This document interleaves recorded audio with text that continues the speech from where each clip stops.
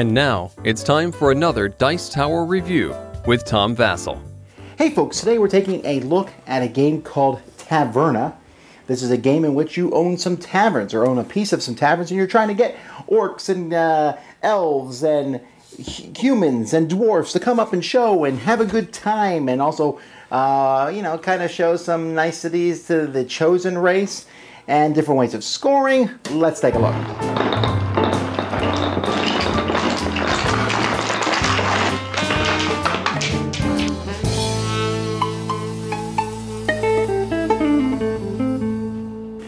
So here's the board made up of different taverns. Now this is the four to five player board. The two to three player board is the other side. It basically has fewer taverns and fewer spots. There are some dignitaries here. These are placed in the different taverns in the VIP spots. At the beginning of the game, players can buy, or they have to buy, two shares of the different um, taverns. So when you look at a tavern at the end of the game, or actually during the game, you get points for owning a share in a tavern. So if I bought, for example, this one, if I paid six coins, I own that tavern, and that gives me three shares in the tavern. So that's one way to get points over the course of the game. You can buy more shares.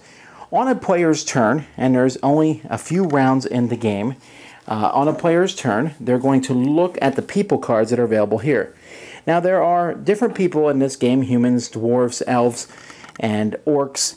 And those four different people uh, one of them is going to be the king's chosen people. That's the first one drawn. So in this game, the first one drawn uh, was a human. So over here, we put a ring around the human to show that the human is the chosen race. And that matters for endgame scoring. So I pick one of these. So let's say I take this guy here. If I take this person here, I can choose whether I want a dwarf or an elf. This one can be either or. Let's say I pick this person here. They're going to be replaced for the next person's turn.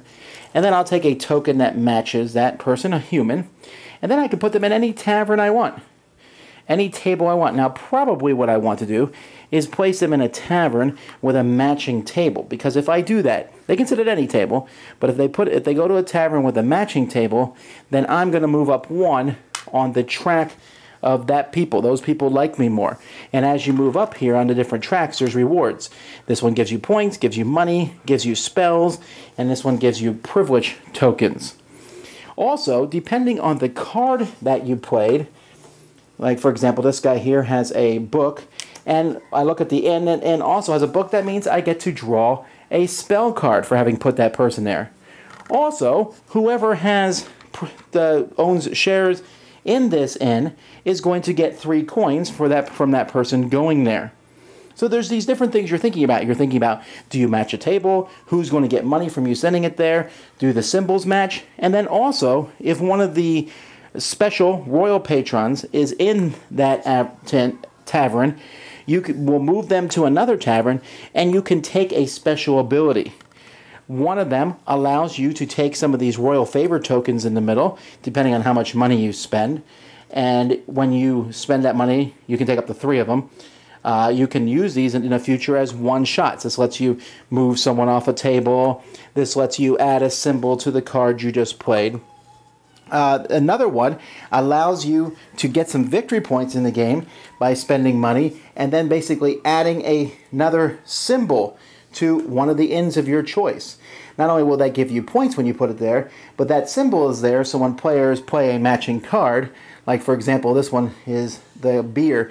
Whenever I put a patron who has beer on them and there's beer in the tavern, I get three coins for doing that. There's the the lyricist here, or the harp.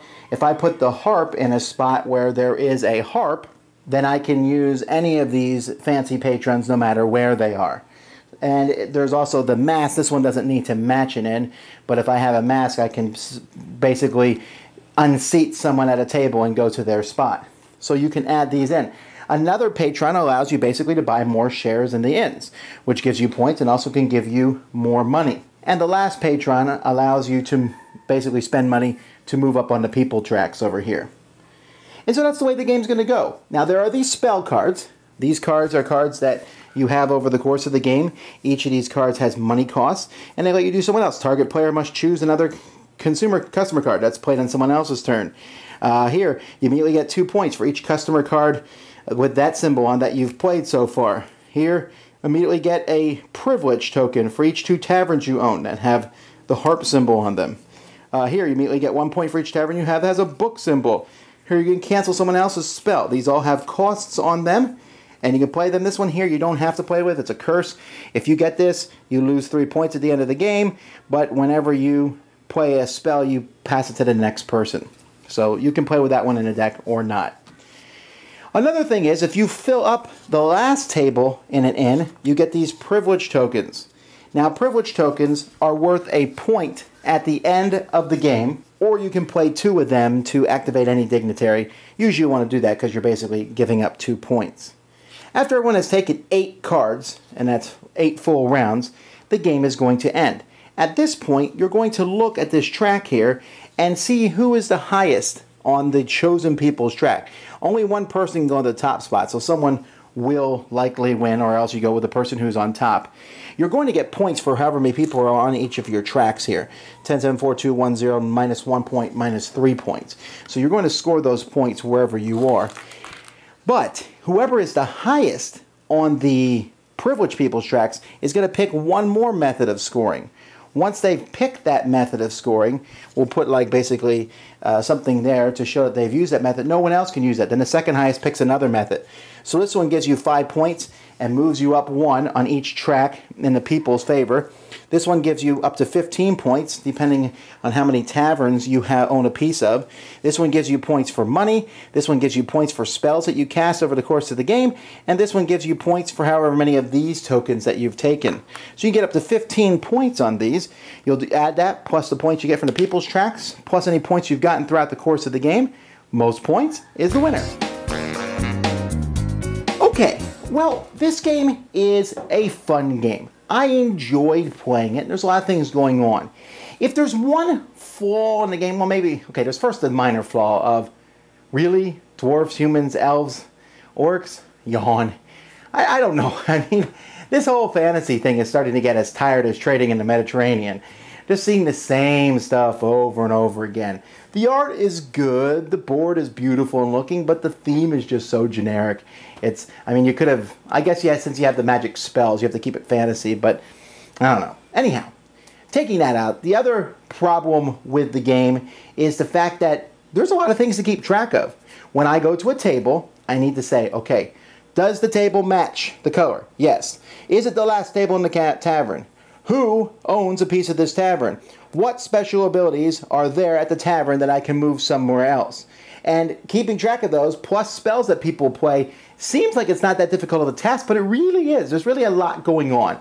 And I think some people won't like that. The game will feel just the slightest bit fiddly to those folks. Um, I, I didn't mind that as much, but I found that usually your choices were not as broad as it might seem. Like, oh, I can put this guy anywhere. Nah, I probably want to put them at a matching table, because why would I not want to point in people? And I, if there's a matching table with a tavern that I own, of course, that's the place I want to place him. And if that's not the case, then I'll go to a place where there's a patron that I want to use. And so you kind of have like this little decision tree, which is nice. And sometimes you have to weigh the option of two others, and you're also helping other people out. Do you want to get a bunch of taverns, own taverns? You can kick other people out of taverns. They don't lose points, but they lose that possible money in the future. Uh, what kind of people are you going to bring in? Are you going to bring in people that give you money, or are you going to get spell cards? But the way the whole game is so intriguing is that final scoring. That king's favorite track. Now, if you play two players, there's two tracks a king's favorite track and a queen's favorite track because you scored twice, and whoever's higher on both of them. But just being high on that one's important because at the end of the game, you're, they're going to pick one of the scoring. So I might decide I'm going to try to get a lot of money. That's a way to get points. But if someone else picks that scoring before me, I can't do that. So if I look and I'm getting close to the end of the game and I'm like, hmm, I'm going to pick scoring third. All right, well, what am I going to pick here? And when you pick your scoring at the end, you want to pick something that helps you, but also you want to, if possible, rob someone who's picking after you of a scoring that will help them. And that's not that that won't win you the game as much. I mean, it, it, it very well has a possibility, but moving up on those people tracks, that has uh, a good chance of winning the game too. So there's kind of a lot going on. There's and the points you get over during the course of the game aren't nothing. This game is deeper than it looks. It looks really simple. And they're like, oh, it's a little fiddlier, but okay, I can live with that. And then you're like, ooh, there's actually some strategy here. And I enjoy that.